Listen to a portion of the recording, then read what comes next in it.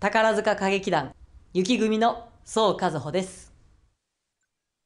一無庵風流記前田慶次は劉慶一郎氏による同名小説を舞台化。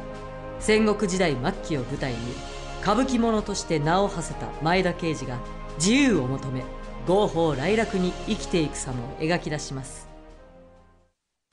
マイドリーム宝塚は旅人が見た夢未来へと向かっていく若者たちの強い決意。